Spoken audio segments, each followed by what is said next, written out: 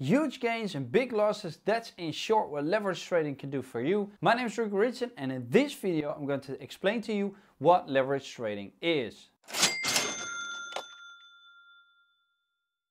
Trading is the buying and selling of goods or services with a compensation being paid by the buyer to the seller. And the international trade goes back as far as ancient times with the most famous one in Dutch history being the Dutch East India Company. This was a multinational corporation that was founded by rivaling Dutch trading companies in the early 17th century. They believe it was the biggest company to have ever existed in history. It was established to trade with Mughal India with 50% of the trade being textile and 80% of the trade being silk. And it also traded with Indianized Southeast Asian countries when the Dutch government granted it a 21 year monopoly on the Dutch spice trade. Later it would diversify into multiple commercial and industrial activities like international trade, shipbuilding and the trade of spices, coffee and many other products. However, we're not here to talk about a business trade. We are here to talk about trading stocks and crypto. There are many stocks and crypto to choose from, but they all have things in common. Stocks can be bought individually or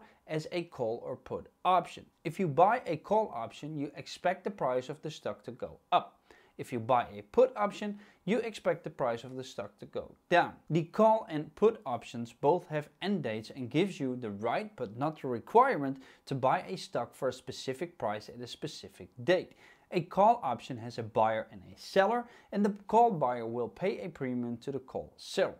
Now stocks can be kept indefinitely but options cannot. Those will run out of time and either be worth some money or nothing at all. So in short, call and put options have three distinct features. These are a strike price, which is the price at which the buyer can purchase the underlying stock, a premium, which is the price for the option, and then finally an expiration date, which tells when the option is expired and is settled.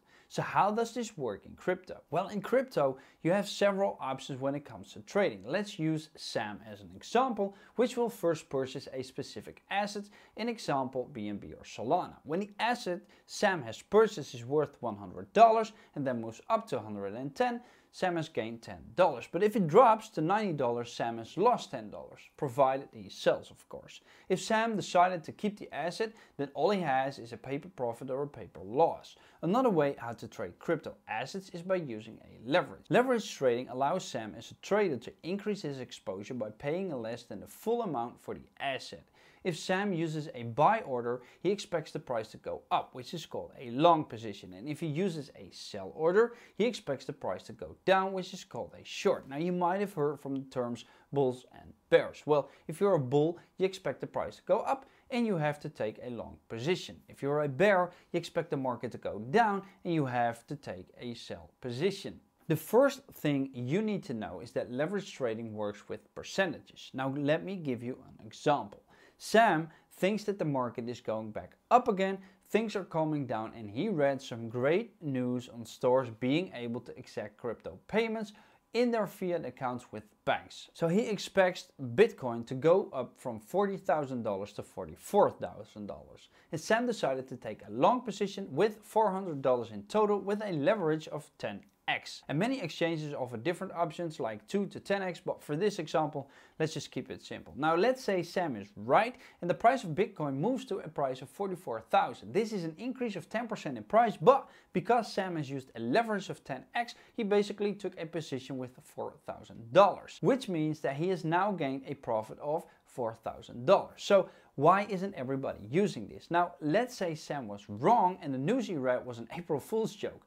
Bitcoin isn't pumping 10%, but instead it drops 10% to a price of $36,000. Because Sam was using leverage, the 10% loss is now 100% loss of funds. Which means that he gets liquidated and loses the entire sum of $400. Now, if Sam would have gotten into a short position rather than a long one, things would have been different for him. Now Sam knew it was an April Fool's joke and expected the market to go down when the news came out that we're far away from accepting Bitcoin as a legal payment method for all stores. Instead of going long, he decided to go short and use the same leverage. He now fills in a sell order at $40,000 with the same leverage of 10x. So if the price drops to $36,000, that's 10%, his $400 has turned into $4,000 as well. However, if for whatever reason the price went up, the same principle will apply. Sam will get liquidated and lose all of his funds as soon as the price went up by 10%. And now that you've got an understanding on long and short positions, I want to let you all know how you can protect yourself from being liquidated. Being forcefully liquidated will convert your crypto assets into cash or cash equivalents to pay off your debt. This happens when you cannot fulfill the margin requirement for your leverage position. It's something I had happen in the past and trust me, it's not fun when that happens because once the funds are lost, you cannot get them back. And this is different from buying crypto assets in a regular way. If you purchase Solana at $100 and it drops 10% to 90, you can still uh, take out that $90 and walk away with a $10 loss. So how you can counteract this is by using a stop loss or a take profit. Let's look at Sam again and his great insights in the market. He isn't quite convinced yet, but he wants to take the gamble anyways, because that's what you're doing, gambling. So he puts the $400 in a long position with a 10x leverage. However, he wants to exit the position if things don't go as planned. So he puts a stop loss order at $38,000. This means that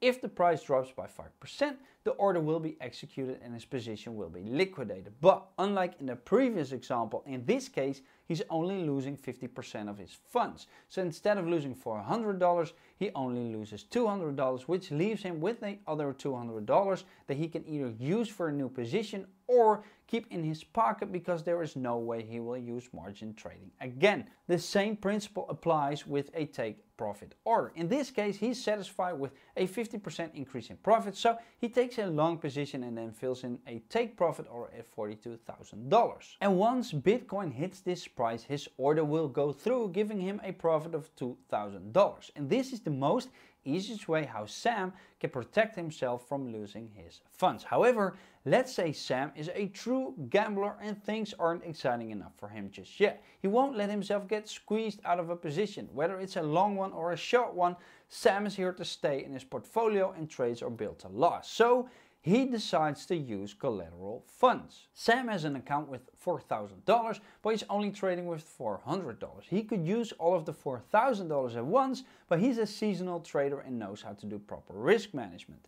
At least that's what he likes to think, because rather than using the entire amount for one long or short position, Sam decided to use the other 3600 as collateral. On exchanges like Kraken, you can margin trade, which is another word for leverage trading, with collateral. The higher percentage you use, the quicker you will get liquidated when the market goes the wrong way for you. By using his collateral, he won't get liquidated when the price of Bitcoin drops to $36,000, which is 40,000 minus a 10%. Instead, he can hold this position because he has another 3600 that he can use and has placed as collateral. And as soon as a certain threshold is reached, his position will be liquidated. But the difference is that it will take much longer than he would have just leverage traded with $400. Most exchanges use a threshold of like 80% before you get a warning to either deposit more collateral or to exit your position manually. The pro of this is that Sam won't get squeezed out of his position so easily. Bulls are fighting bears every day trying to liquidate each other's position and this is also one of the reasons that when the price of Bitcoin drops very badly you suddenly see it drop even more. This has to do with the fact that long positions are being liquidated when the market drops. And on the other hand, sometimes you see a tremendous boost in price with Bitcoin and this can be the effect of a short squeeze which pushes bears out of their position. So during events like this, using collateral will help Sam stay in his position to survive these market circumstances. However, eventually Sam will have to pay up and that's the biggest con. If Sam can't keep up because he doesn't have any more collateral to use or because he lost faith in the market and decides to cut his losses and close his position, he will have a much bigger loss than when he would have just used a $400 trade on a 10x leverage without collateral. So in summary, there are many ways how you can trade stocks and crypto and you can use leverage or buy the set asset. It all depends on your risk appetite and how much you're willing to lose because no matter how many stories you read online or YouTube videos you watch from people that claim to have become millionaires, the majority of the people are losing money when using leverage trading. Now keep in mind, I'm not registered financial advisor nor is this video meant as financial advice. It's meant to be educational entertaining only on the topic of leverage trading. A special thanks to Alexios for providing me with the inspiration to make this video. If you want something to be addressed on my YouTube channel or on my website, feel free to contact me. And if you like visual presentations about crypto projects, then please click that playlist right there. My name is Rico Richardson and I'll see you next time. Doei!